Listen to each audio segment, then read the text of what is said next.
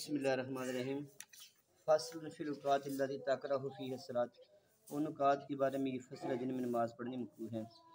पहला मसला सलात इंदा तुलशम से वला इंदा क़्याम हाफिज़ ज़हीरा वला इंदा गरूबहा ये तीन उकात बताए इन्होंने कि तीन वक्त जिनमें नमाज़ मकरू है। नंबर एक जब सूरज तलू हो रहा और नंबर दो जब जहर के वक्त सूरज ठहर जाता है, इंदा क़्याम सूरज ठहर जाए वलाइंदा गरूब और ना ही गरूब के वक्त ये तीन टाइम है। अब इन तीन टाइमों में नमाज़ क्यों मकरू है। नबी सल्लल्लाहु अलैहि वसल्लम ने फरमाया, ले हदीस उकबा ने आमर रदी अल्लाह ताला हज़रत उकबा बिन आमर की हदीस है। एक काल आपने फरमाया, सलासत अवकात नहाना रसूलुल्लाह सल्लल्लाहु अलैहि वसल्लम नसली फ़ीहा। तीन अवकात थे जिनमें हजूर ने हमें मना किया कि हम इनमें नमाज़ अदा करें। वह अनक रफ़ीहा मौतना या अपने मुर्दों को दफनाएँ नंबर एक इंदा तुलु शम्स हत्ता तरतफ़िया सूरज शुरू होते वक्त जब तक बुलंद ना हो जाए। वाइंदा जवाल और जवाल को जब तक ढाल ना जाए सूरज डाल ना जाए। वही ना तदीफ हो ग्रुप और जब ए, माइल हो जाए ग्रुप की तरफ़ हत्या तक जब जब तक ग्रुप ना हो जाए। वलमराद बेकोली नकबरा और नकबरा से मराद ये है सलात जनाजा नमाज़ जनाजा। लेना दफना गैर क्योंकि दफन गैर मकरू है। यानी कि इन जवाल के वक्तों में दफनाना मकरू नहीं नमाज़ जनाजा पढ़नी। वाला हदीस बे इतला की हजत शाफ़ी। और इमाम ये हदीस अपनी इतला के साथ इमाम शाफ़ी के ख़िलाफ़ हजत है। फ़ी बाहत नफल योम जुम्मत वक्त जवाल। वो कहते हैं जुमे के दिन जवाल के वक्त नफल पढ़ना है। अच्छा, फ़राइद। वो कहते हैं कि ये फ़रैज़ की तखसीस में वो कहते हैं कि ये जो हदीस है ना ये फ़रैज़ के साथ ख़ास है। सुनते और नफल पढ़ना चाहें तो पढ़ सकते हैं। तीन वक्तों में हम फ़र्ज़ वगैरह नहीं पढ़ सकते और वबी मक्का तफ़िया के नवाफल और मक्के में अगर हों तो नवाफल भी पढ़ सकते हैं। नवाफल के हक में हैं कि मक्के के अंदर इन अवकात में नवाफल पढ़ना जायज़ नहीं है। वहजत नलाबी यूसुफ इमाम यूसुफ के खिलाफ हजत है। फ़ी बाहत नफल युमा जुमत वक्त जवाल वो कहते हैं कि जुम्मे वाले दिन जवाल के वक्त नफल पढ़ने मुबा है।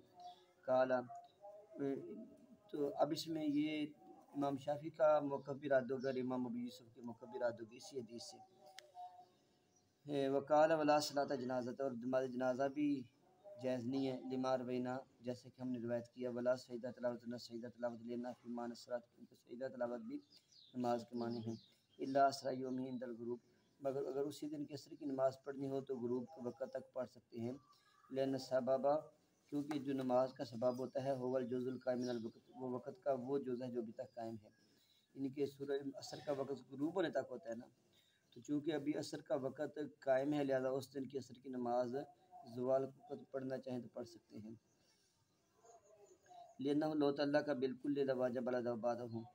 अगर हम कुली तौर पर कह दें कि ये जवाल में कोई नमाज़ है नहीं है तो उसके बाद अदा करने वाजिब होगी। वो लो तल्ला का बिलजुज़ माजी तो अगर उसका तल्लक हो जाए, माजी के जुज़ के साथ फल मुद्दी फ़ी आहर वक्त एक आदमी तो आखिरी वक्त में दा करने वाला, वो कज़ा करने वाला हो जाएगा वज़ा खाना कज़ाली का और जब ऐसा हो फ़कत दाहक माँ वाजबात। तो उसने अगर जवाल को में अगर बंदे किसी नमाज़ पढ़ी तो ऐसी हो गई जैसे उसने ऐसे अदा की, जैसे कि वो बाजूद हुई थी। बिखलाफ है गैर मिन सलावात बरखलाफ दूसरी नमाज़ों की। अब दूसरी नमाज़ इस वक्त में नहीं पढ़ सकती, क्योंकि उस वक्त में वाजिब नहीं है। ये सारी बेटा गुफ्तु का खुलासा ये है अगर उस दिन की असर की नमाज़ बंदे की रह गई है ना तो अब वो बंदा ये ना बात करे कि जवाल का वक्त शुरू होगा तो मैं उस दिन की असर की नमाज़ ना पढ़ूँ। कहते उसकी वजह यह है कि नमाज़ का सबब, जो नमाज़ का सबब होता है, वो वक़्त होता है। जब नमाज़ का वक़्त आ जाता है तो नमाज़ पढ़नी वाजिब हो जाती है। अब असर की नमाज़ का सबब, असर की नमाज़ के वक़्त का आना है। फजर की नमाज़ का सबब, फजर के वक़्त का जैसे ही जब किसी नमाज़ का वक़्त है तो वो नमाज़ हम पर पढ़नी वाजिब हो जाती है। अब जो असर की नमाज़ का वक़्त है, वो है सूरज एक मिसल या दो मिसल से लेकर सूरज गुरूब होने तक। अब अगरचे जवाल का टाइम हो, शुरू हो चुका है, लेकिन वो वक़्त असर की नमाज़ का है ना। तो वक़्त सबब बन रहा है नमाज़ के लिए। तो जब वक़्त सबब बन रहा है तो उस वक़्त के अंदर, उस दिन के असर की नमाज़ पढ़ सकते हैं। लेकिन वो वक़्त उस दिन के असर के लिए तो सबब तो है, लेकिन किसी और नमाज़ के लिए सबब नहीं है। लिहाजा और नमाज़ पढ़नी मकरू है। असर की नमाज़ के बाद जवाल के टाइम में जब सूरज गुरूब हो रहा। काला रदी अल्लाह वल मुराद बिन नफ़ी मजकूर फ़ी सलात जनाज व सैदत तलावत कराहता। कहते हैं कि जो वल मुराद बिन नफ़ी मजकूर जो नबी सल्लल्लाहु अलैहि वसल्लम ने मना किया ना कि तो आपने नमाज़ नहीं पढ़नी या नमाज़ जनाजा भी नहीं पढ़नी सैदा तलावत भी नहीं करना। तो कहते हैं कि ये जो नफ़ी है ये कराहत वाली नफ़ी है। यानी कि अगर किसी ने नमाज़ जनाजा पढ़ दिया नमाज़ जनाजा तो हो जाएगा सैदा तलावत भी हो जाएगा। लेकिन उसमें कराहत आएगी। जो नबी पाक ने मना किया हजूर का मना करना ये मना करना नहीं कि नमाज़ होती ही नहीं। हजूर के मने मना करने को हम नहीं कराहत पे महमूल करेंगे। अगर आज जवाल का टाइम अभी तकरीबन जवाल का टाइम है सूरज तलू पंद्रह बीस मिनट हो चुके हैं तो इसी यही जवाल का टाइम है। अब अगर इस दौरान में कोई बंदा सजदा तलावत कर लेता है, सजदा तलावत अदा हो जाएगा, उसके ज़िम्मे से वो वाजब अदा हो जाएगा, लेकिन होगा मकरू तो जो हजूर ने मना किया, हजूर के पर मना करने को हम कराहत पे महमूल करेंगे हरा पे महमूल नहीं करेंगे। हत्या फ़ी, अगर उसने इसमें नमाज़ पढ़ी हो तलाफ़ी है, या उसने इसमें तलावत की आयत सजदा आयत सजदा, फसाजदा, और सजदा का ली जाज जैद लेना उदियत नाकसा क्योंकि वो नाकस अदा हुई है। कमाएजा इज़र वजूब भी हजूर जनाजा व तलावत जैसे कि वाजिब हो जाती है जनाजा और तलावत हाजिर होने के वक्त।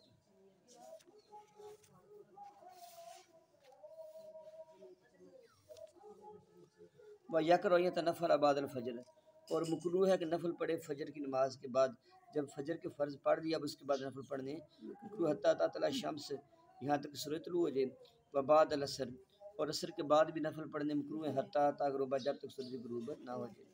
दलील के लिमा रोवियतलाम नहान जालिक इसकी दलील ये हजूर से मना किया है कि इन दो वक्तों में नवाफल ना पढ़ो। बराबा सब फ़ी हाद इसमें कोई हर्ज नहीं कि इन दो वक्तों में पढ़े फोशदा नमाज़ और सईद और सईदा तलावत भी कर सकता है और नमाज़ जनाजा भी पढ़ सकते हैं। लेंदल कराहत कान लाही कल फ़र्द, क्योंकि ये कराहत लाही हुई थी फ़र्ज़ को। लिए सीरवक्त कल मशगूल भी ताकि वक़्त उसी के साथ मशगूल होने वाला हो, फ़र्ज़ के साथ। लाल माना फिल वक्त, ये नहीं कि पूरा वक्त मशगूल हो जाए। फलाम ताज़रफ़ी हक़ फ़रैज़, और ये चीज़ फ़रैज़ के हक़ में ज़ाहिर ना हो वफ़ीमा वाजबा लेनी, और जो चीज़ वाजिब लियानी ही हो, जैसे शहीदा तलावत, उसी वक़्त में वजाहर फ़ी हकल मंजूर और या वो चीज़ जो ज़ाहिर हो जाए मंजूर जिसने नज़र मानी उसके हक़ में। लेना तल्ला का वजूब भी ही बिसाबा में जहत ही क्योंकि अब उसके वजूब का तल्लक उसकी जहत के सबाब से होगा। वफ़ी वफ़ी हक़ के रखा था तवाफ़ और तवाफ़ की दो रखतों के हक़ में। वफ़ीला शारा फ़ी है या जो बदनी वक्त में नमाज़ शुरू की सुमाफ सदा हूँ फिर फा, फासद कर दी। कहते हैं अब ये सारी चीज़ें जो है ना वो इस वक्त में कर सकते हैं। ये समझे कि फजर के बाद सूरज तुलू होने तक सिर्फ़ दो फ़र्ज़ पड़ेगा नफल वगैरह नहीं पड़ेगा। ऐसे ही जो असर के बाद मगरब तक भी सिर्फ़ दो चार फ़र्ज़ों के बाद नफल वगैरह लेकिन अगर उस वक़्त में कोई और चीज़ इंसान के ज़िम्मे वाजब आ जाती है इन्होंने तीन मिसालें दी है। एक सजदा तलावत कहते हैं सजदा तलावत हम कर सकते हैं। ऐसे ही नमाज़ जनाजा आ गया, वो भी पढ़ सकते हैं। ऐसे ही हम खाने काबे का तवाफ़ करें तवाफ़ के बाद हमने दो रखते पढ़नी होती हैं नफल की मकामी ब्राहिम की। तो वो दो रखते हम मकामी ब्राहिम भी नवाफल भी पढ़ सकते हैं। कहते हैं, ये सारे काम कर सकते हैं, क्यों कर सकते हैं?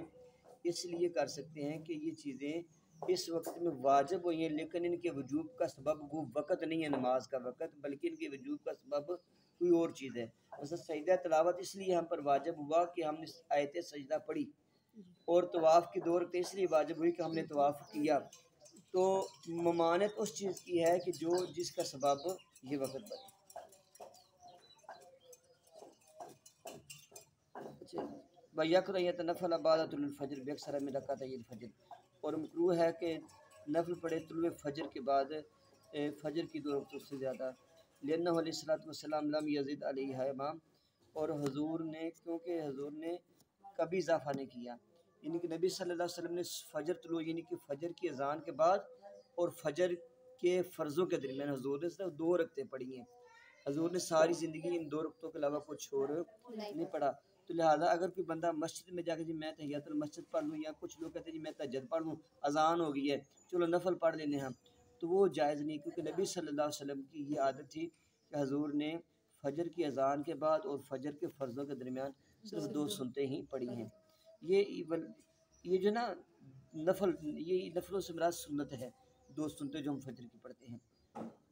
क्योंकि हजूर ने इजाफा नहीं किया इन दो सुनतों के अलावा माँ हिस्से ताला के हजूर नमाज़ पढ़ने में बड़े हरीस थे। वलायत नफल बादल ग्रूब कबल फ़र्ज़।